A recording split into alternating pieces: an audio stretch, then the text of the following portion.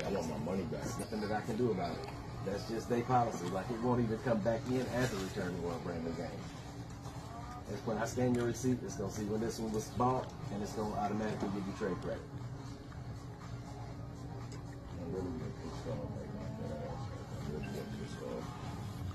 How you doing today, sir?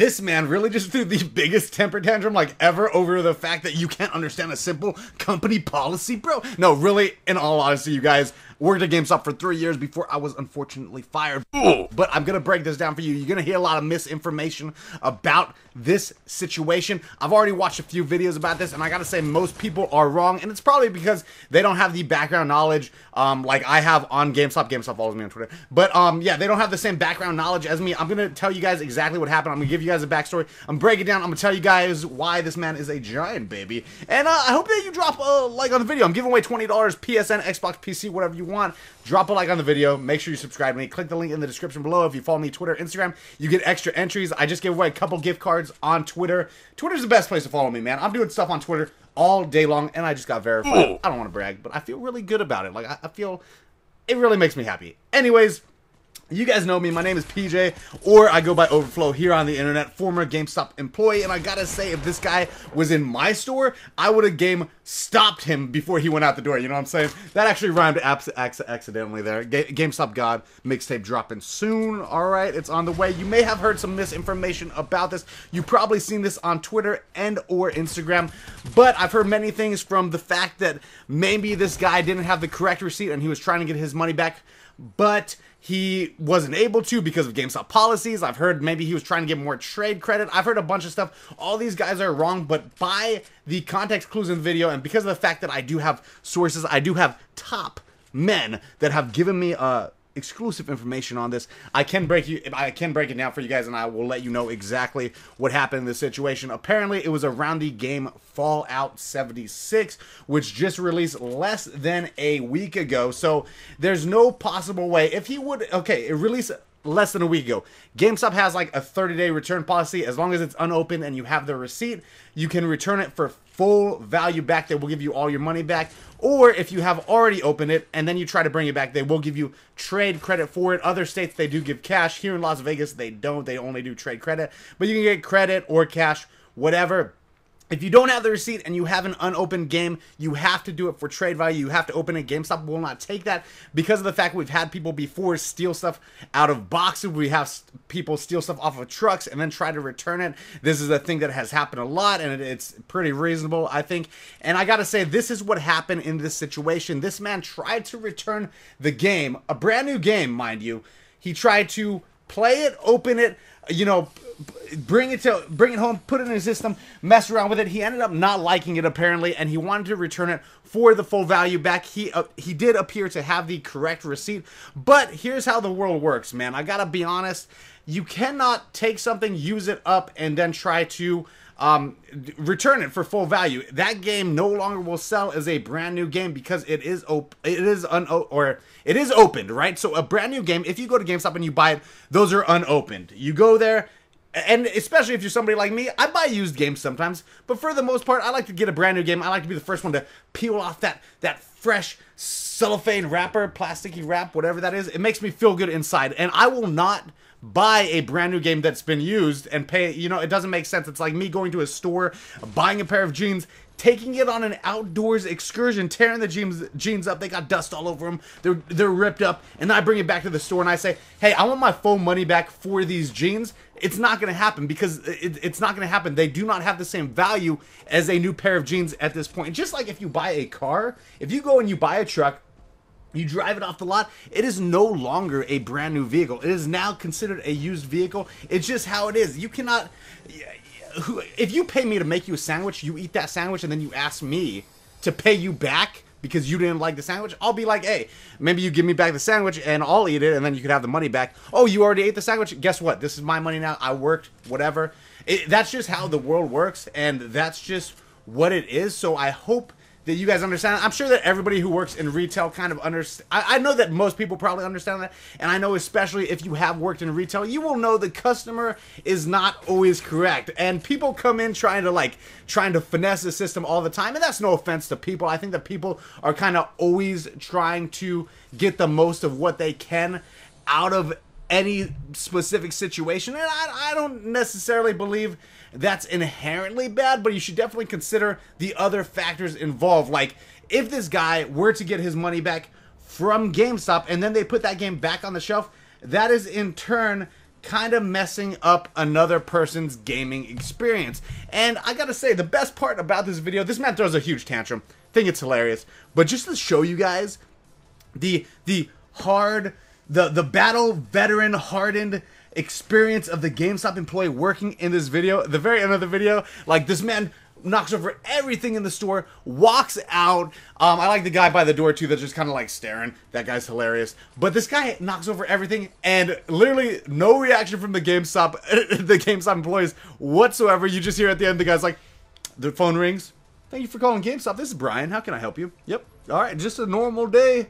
It's a normal day here at GameStop. I'm not even gonna address the fact that this guy destroyed half the store. And I, I, I gotta say, man, you're literally ruining the day for the people working there for like pretty much no reason. So those guys are gonna have to clean that up. At least I get a cool story out of it. You know what I'm saying? I'll be honest with you. If this happened in my GameStop, I wouldn't necessarily be mad. I would like think it's kind of hilarious, but I'm kind of that way, I guess.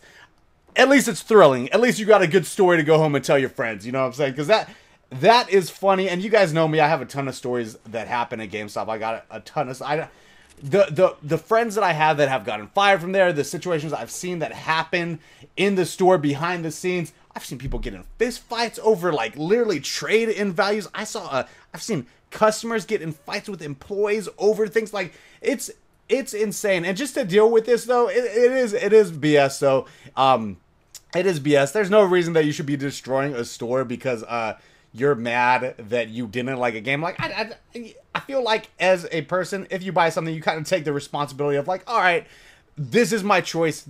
This is what happens. If I don't like the game, I don't like the game. Whatever. It is what it is. Trade it to a friend. Do something. Sell it to a friend for 50 bucks. You know what I'm saying? They, they get $10 off the game. You get 50 bucks back. Do do something other than destroying somebody's store because there's some dude that's making like 8 bucks an hour that's going to have to clean that up. That's you know, I'm just saying. I'm just saying I feel like personally might be a little bit rude, you know. And also earlier today, if you guys follow me on Twitter, Keemstar tweeted this out, and then uh, uh, FaZe ClipZ, if you guys know of him, he's the original founder of FaZe. Tweeted me, he's like, "Wouldn't have happened if Games, if uh, oh god, GameStop, God, uh, wouldn't have happened if Overtflow was there." I almost refer to myself as GameStop. That's that's that's ridiculous, but.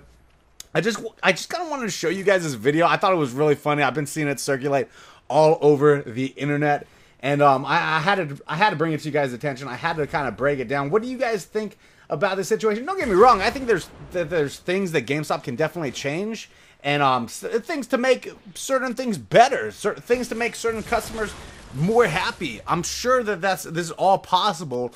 But I, I do want to say I think that this in this situation it's pretty cut and dry. It's pretty clear that um if you buy something and then you try to return it after you've already like lowered the value of it, you shouldn't expect uh, you know, to get a like all your money back, just like I just think that's a little ridiculous. I think it's a little bit uh, self-centered, maybe a little greedy, perhaps. You know what I'm saying? And I also think that you shouldn't be destroying stores now there's like some dude who's gonna have to clean that all up, or a girl. Maybe there's a girl there that's got to clean that up. That's rude. I think that I'm just saying, and I think that everybody can agree with that sentiment. But either way, I've been I've been just kind of enjoying the whole GameStop stories lately. And here at the end of the video, I think I'll talk to you guys a little bit. My people, my personal subscribers, man, I have been where I, I, know that literally in the since I did the boxing, the Logan Paul KSI boxing fight thing. Which first off, anybody like I heard I seen somebody say, "Are you still talking about that?" Yes, It was huge. It was a huge event in my life. One of the coolest things, if not the coolest thing I've ever done. And since then, I've had so many opportunities.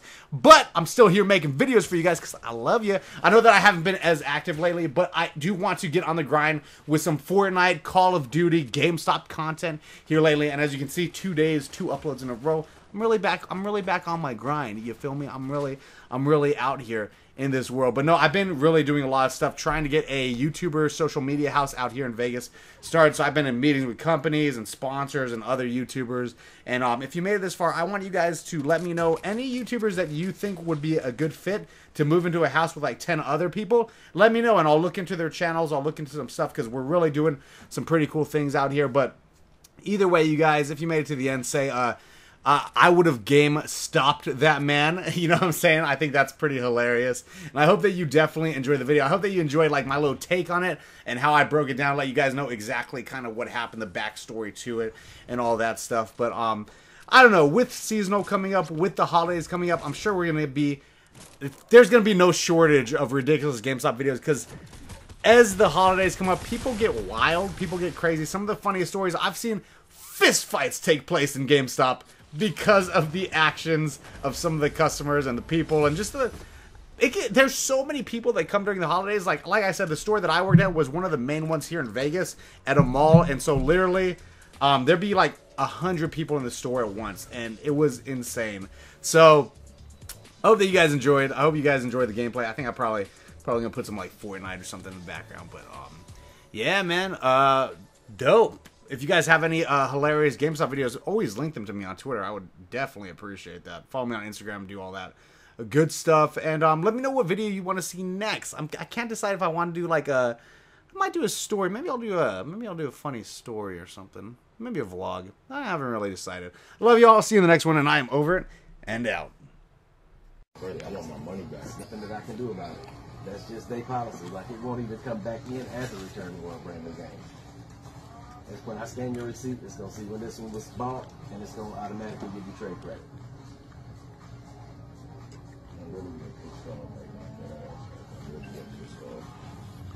How you doing today, sir?